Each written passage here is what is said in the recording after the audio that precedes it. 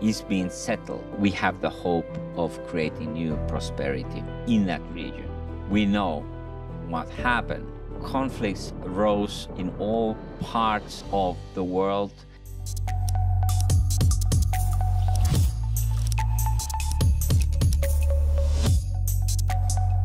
Hi, here is Markku Wilenius, your traveling futurist. This time, I'm gonna tell you something that you probably don't know about the history and the future of the relationship between Arab countries and Israel.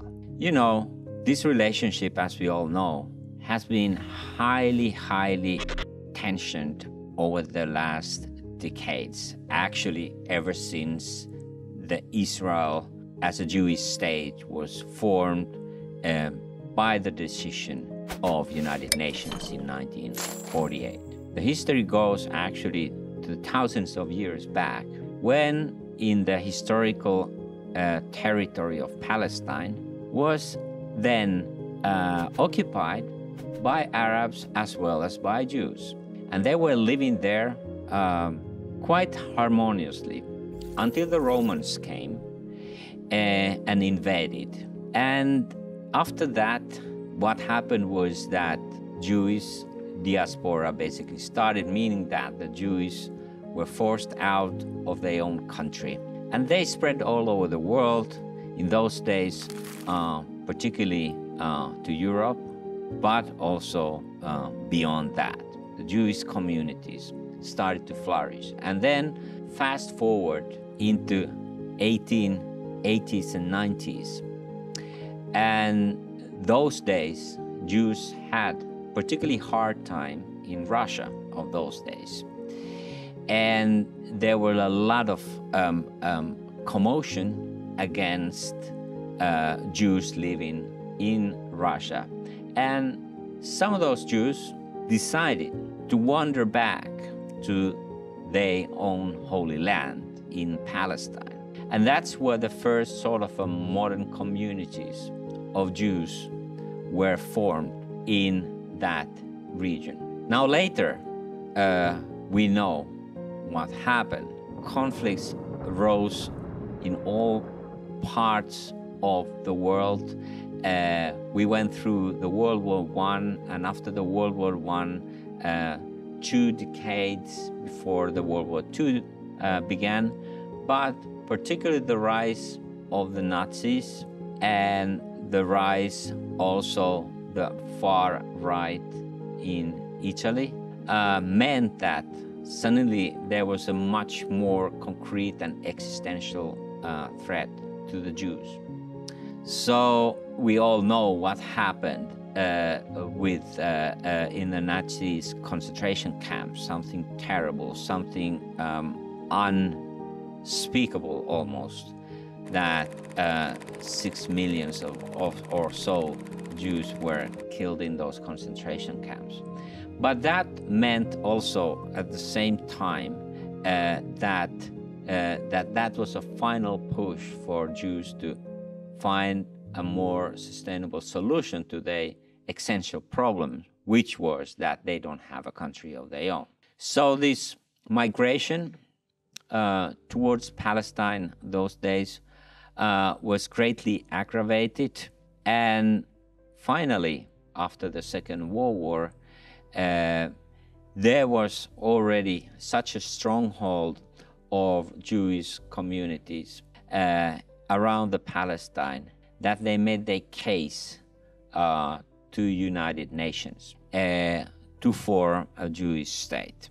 And of course, already in those days, uh, there was a lot of antagonism between the Jewish communities and the Arab communities around, particularly uh, because Jews were really desperate to build their own country. And they were very quick, actually, uh, to uh, build the necessary infrastructure and farming activities and all those kind of necessities that the modern state requires. And, uh, and then uh, what happened was that the, the moment uh, United Nations gave their approval to form a Jewish state called Israel, the real conflict started between uh, uh, that newly formed Jewish state and, and many Arab countries around. Um, particularly, uh, uh there was an issue with with the Jordan. There was an, uh, a conflict uh, with Egypt, and so forth and so forth, and Syria as well. And all of these kind of started to load these tensions between those two countries. The the conflict got settled, and uh, and and Israel was able to say they independence, which by itself was a miracle. But then followed another conflict, and that all created a lot of tension between uh, the Israel and Arab countries. Over the years and decades, uh, uh, there came uh, another big issue, which was the issue about the Palestine and the issue about the refugees, uh, who, in a way, uh, when it comes to the Palestinians, that that they are actually refugees inside their own country, so to say. And there was a really hard way to to see that how this kind of a conflict can ever be resolved. And the idea of the two states were formed then in the process. De facto, the situation currently is that yes, Israel is a state, it's actually a very strong state, very well developed state. Um, they have put a lot of stakes in their R&D and become very strong militarily and economic-wise. But at the same time, uh, there are still these problems and conflict between them and the Arab countries that uh, that they have not been able to resolve, even with a with a kind of a strong internal um, unity. And with that, uh, we are currently in the situation where over the last decades, in spite of a numerous and serious efforts to build peace between the Arab people and the state of the Israel has not been very successful until very recently we have seen some light at the end of the tunnel, of which the most important is what happened between United Arab Emirates and Israel, that they were able to resolve the conflict, um, build a diplomatic ties, and in fact start trading between those two countries. Today we know that there has been years, if not decades, of the issues, some problems between Arab countries and Israel. In fact, this goes back in the times when Israel as a Jewish state was formed by the resolution of United Nations in 1948. That was the moment when uh, things rapidly uh, evolved and changed to where they were uh, before the independence of Israel. But we have to go actually back, back in the history to understand where are the true sources of this conflict and what is the position of the Israel in this region as a, as a country. Now, if we go back in the history, we can see that actually at the time there was um, in Palestine territory there were uh, um, Arab people living together with Jewish people. They both share the region and the land there. Um, but things changed when the Romans came to invade this area.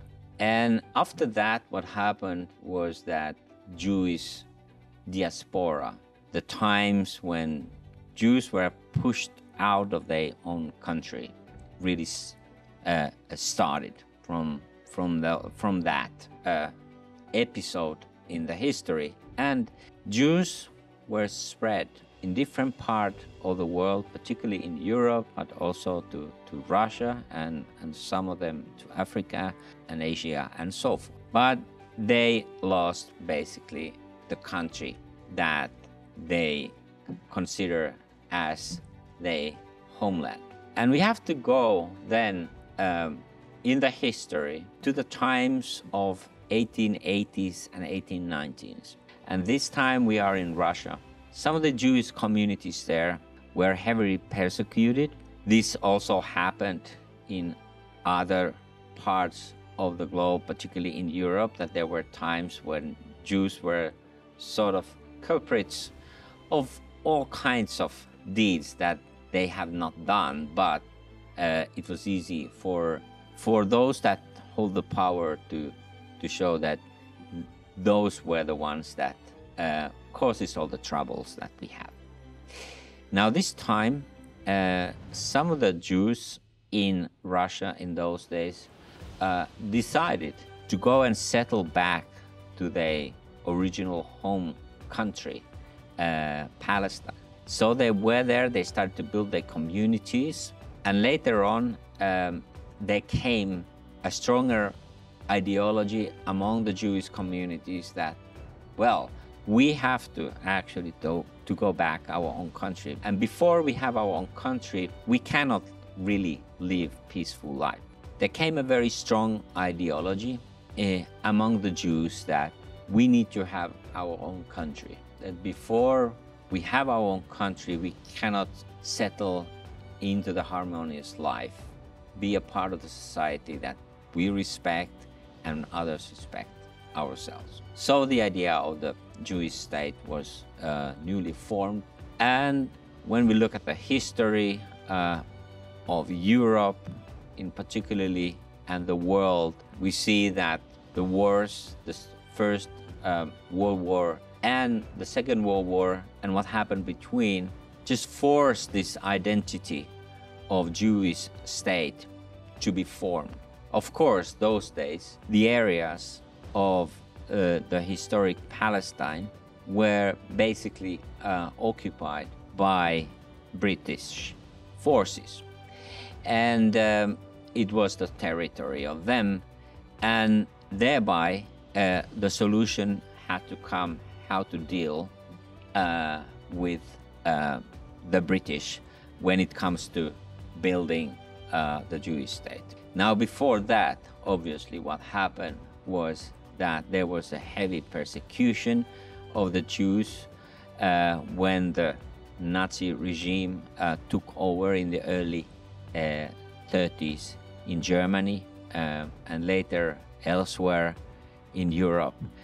And the horrors of the concentration camps and, and, and six million uh, Jews being uh, killed in those camps was a clear token that we need a solution to this. So after the Second World War, this movement towards the Palestine became very strong and it became suddenly possible actually to claim that state. Um, so there was a strong Jewish community uh, in those days living in, in, in Palestine, and they wanted to claim independence. And the British eventually um, uh, decided that they don't want to uh, make a decision about that, uh, leave it to United Nations. And in 1948, finally, the, the Jewish state was formed. But that was far from the end of the story, because the moment this Jewish state of Israel claimed their independence, that was the moment when several Arab states invaded into Israel and the war started. Against the odds, Jews were able to defend their newly defined uh, nation. This war was settled and the life of the Jewish state began. But as we know, subsequently came other conflicts, mostly involving the strongest Arab country in those days, which was Egypt. And several wars occurred, and as a result of those wars, the position of Israel was strengthened. And that was only possible because Israel has been uh, developing very fast as a country. They were able to modernize the country. They were able to invest in um, in R&D, in the new technologies, uh, in the infrastructure. They basically built uh, a part of the old land of Israel to be a garden for them, which was a, almost like a miracle how they were able to uh, build all that uh, um, um, farming uh, there at the time. All of that they were able to do, and as a result, uh, they became very strong. When we look at the current state of the Israel, um, we need to see that probably before uh, Netanyahu has left his position finally as a premier, we won't see the final solution to arise in the horizon, so to say. But I'm sure that as we move towards the future, everybody starts to see how much more uh, benefit it would provide for all the parties involved if this dispute, this conflict that has been persisting for so many years and decades can be finally settled and the issue around the Palestine particularly can be settled so that those people be living there in peace. And once I believe this is being settled, we have the hope of creating new prosperity in that region. And that is a torch of light that uh, that we hope will be kept up in the air to also to show to the world that the old conflicts can be resolved and that this region could be also an example of how we don't have to create the same kind of the future as we have done in the past. Subscribe to my channel where you can learn more about the future. And I also love to hear your feedback.